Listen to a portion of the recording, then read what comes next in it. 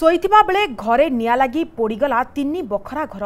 Athagarh block ଗୁରୁଡୁ ଝାଟିଆ ଛୋଟି ଆମ୍ବ ଗ୍ରାମରେ ଗତକାଲି ବିଳମ୍ବିତ ରାତିରେ ଘରେ ଶୋଇଥିବା ଅବସ୍ଥାରେ ସର୍ଟ ସର୍କିଟ୍ କାରଣରୁ ବିଚିତ୍ର ପ୍ରଧାନ ଓ ମୂଷା ସାହୁଙ୍କର ତିନି ବଖରା ଘର ସମ୍ପୂର୍ଣ୍ଣ ପୋଡ଼ି ପାଉଁଶ ହୋଇଯାଇଛି। ସ୍ଥାନୀୟ ଲୋକେ ନିଆଁ ଲିଭାଇବା ପାଇଁ ଚେଷ୍ଟା କରିଥିଲେ ମଧ୍ୟ ସଫଳ ହୋଇନଥିଲେ।